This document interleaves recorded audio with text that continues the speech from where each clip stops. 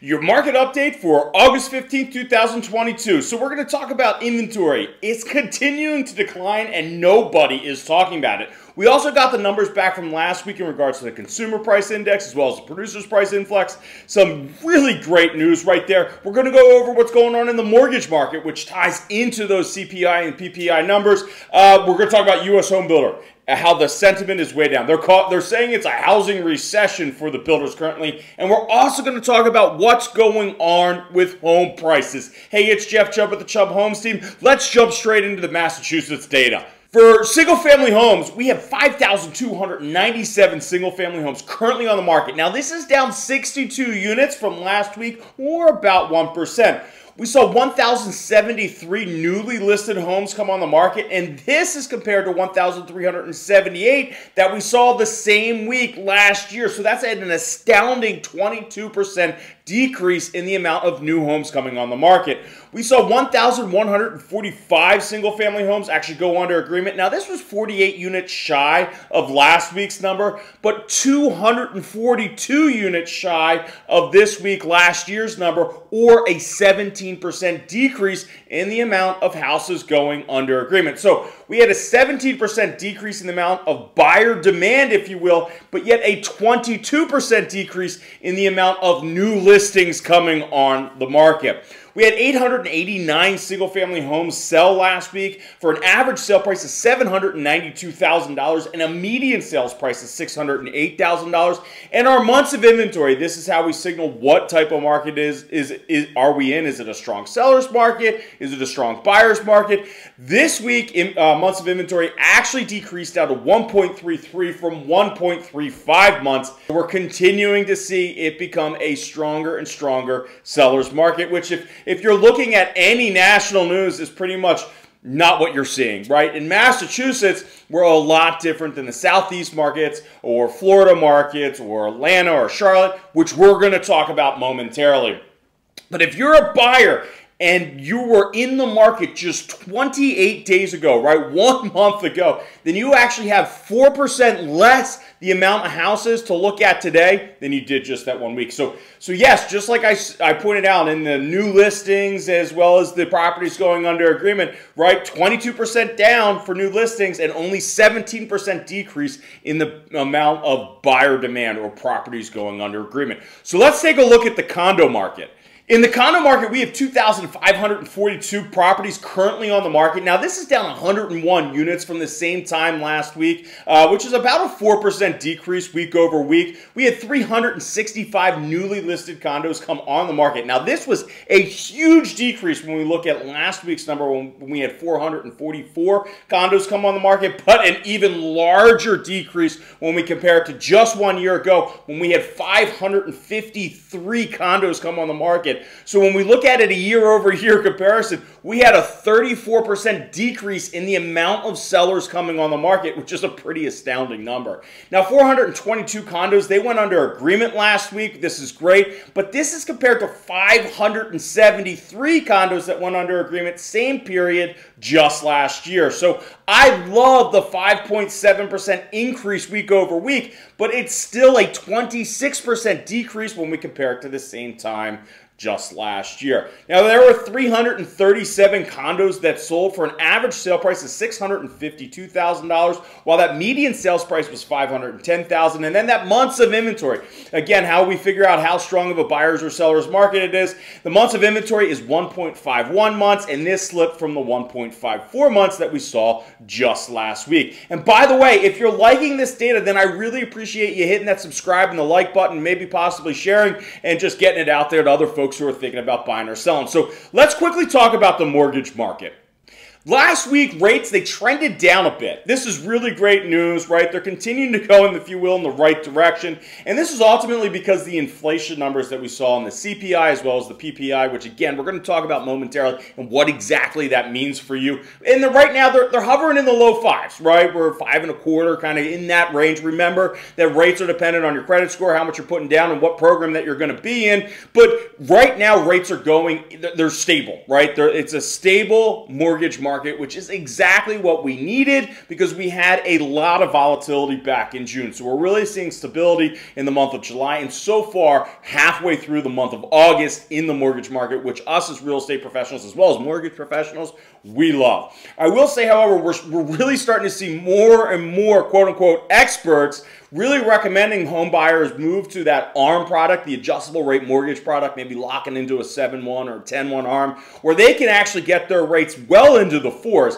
And I actually did a video on this above. You can click it right here. That really goes in and talks about what are the advantages of using an ARM and what are the uh, disadvantages of using the ARM.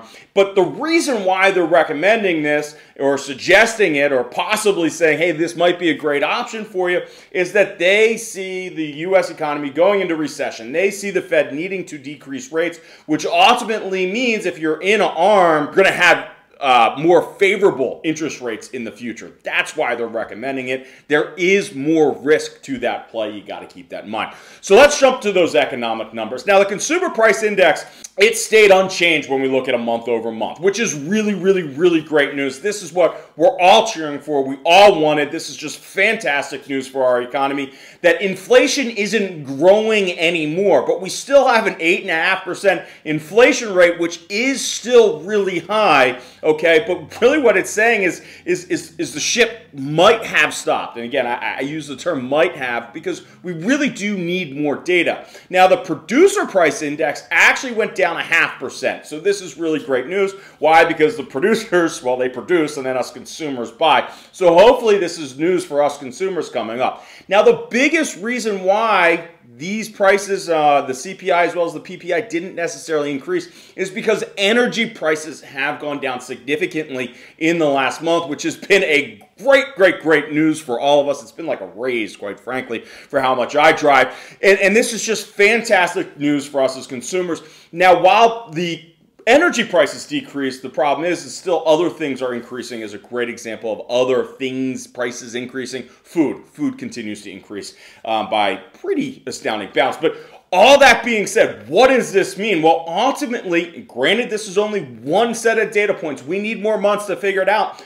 But to the Fed, the question becomes, has the ship stopped? Is it starting to turn? Are we going to actually starting to see inflation decrease, right? Where rather than 8.5% year over year, you know, going down to 8, to 5, 4, the goal benchmark is 2%. You got to keep that in mind. That is how much higher above we are right now than where the Fed really wants us to be. So there's still a lot of work to be done, but what this might mean mean is that the Fed might might not be have to be as aggressive as they were thinking that they needed to be in order to slow down the economy and thereby slow down inflation.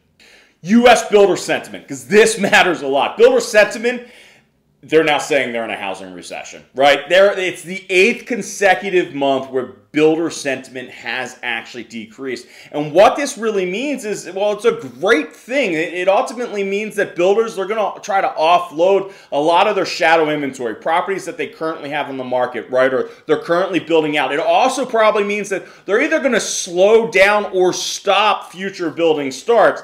And all of this is really great news because there is talk as the economy slows, it kind of makes sense, right? When we see the economy slow, we naturally see foreclosures start to increase. So builder new supply starts decreasing right as you know we might start seeing some foreclosures start to increase nothing like 2008 there's no way it's going to be anything like 2008 so just go ahead and take that out of your mind. It's not going to be anything like 2008 i will talk about that in future videos and in, in, that sense of why it's not but just take that out of your mindset. It's not going to be anything like 2008 but we are going to start to see foreclosures start to increase, right? But if, if the builder, you know, supply is decreasing while the foreclosure supply is increasing, well, the two might average out, right? So this is really, really, really good news for us as a market where we are starting to see a slowdown in a lot of places throughout the country, where we are starting to see inventory skyrocket in a lot of parts of the country, not here in Massachusetts, but in other parts of the country. And you got to keep that in mind, right?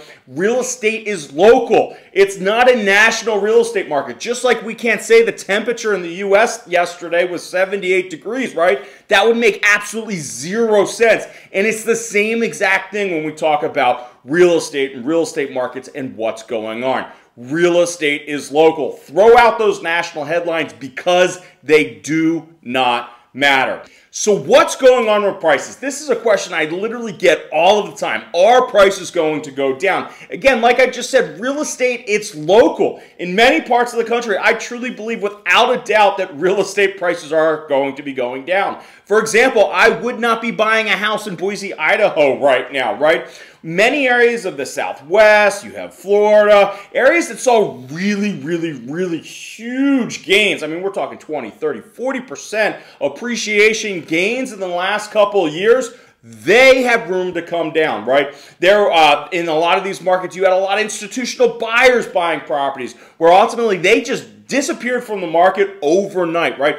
Those markets are seeing a huge, huge, huge drastic increase in the amount of supply of properties coming on the market. Those markets like Boise, Idaho, San Jose, California, Austin, Texas, Atlanta, Georgia, Charlotte, North Carolina, right? Those markets probably have quite a bit to give. But in Boston, in, in the Massachusetts market, we're not seeing that, right? Inventory continues to be strained in Massachusetts. Like I said, we have 1.31 months worth of inventory on the market in the whole entire state of Massachusetts. It is a very strong seller's market. And we were starting to see inventory really start going up. And then all of a sudden, in the last four weeks, we've actually seen inventory declines, which nobody is talking about anywhere nationally, right? That is our market in the state of Massachusetts right now. Is inventory going to continue to go up? I do believe in the long term, in the fall market, I believe inventory is going to go up. But when you look at our inventory levels today and you compare it to the same time last week, yes, inventory is up 18%.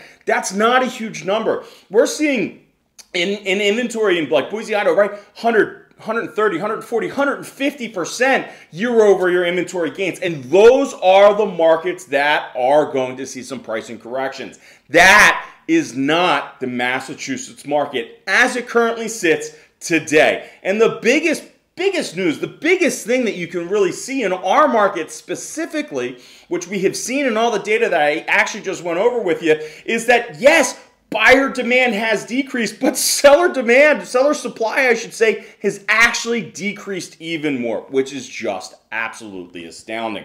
Now, I, I decided that I'm going to do a video. Is the real estate market in Massachusetts going to crash, right? Again, this is a question I get all the time. So I'm going to go ahead, I'm going to pour through the data, I'm going to figure it out, I'm going to do a really awesome video for all of you. So be on the lookout for that. If that's something that you're would be probably be interested in, then make sure you hit that like button, subscribe button, so that way in the next couple weeks when I uh, when I put this video together and I release it, right, you're one of the first to know. Because that is the biggest question, right? What is the Massachusetts economy ultimately like? How is it going to fare better in this recession, right? And yes, don't get me wrong, it's all a little bit of guessing, but that is literally what all the experts are doing. But they're talking about a national guess. I'm going to take it to a Massachusetts specific data points. If you have any questions about the market data or any comments about this video or the market, I would really love to know. Be sure to drop those in the comment section. I always love hearing folks. I love hearing about different things I can do. For the example the other day, somebody was like, hey, what about multifamily data? Oh, so I put it in the video last week, and I'm going to do that once once every single month. So I, I, love hearing the suggestions. Please keep them coming. If you want to talk about your own personal real estate needs, whether you're buying or selling in Massachusetts or anywhere else in the country, you know, kind of looking for a dog not in the fight. Hey, I love talking real estate. I would love to chat with you. All my information is in that description below, so that's where you can find me. And by the way, if you could do me a favor, if you like this video, if you like the information in this video, if you could hit that like button, if you could hit that subscribe button, and if you could share it with friends and family so that way they know what's going on with most likely their biggest and most important asset, then I would truly appreciate it. So until next week.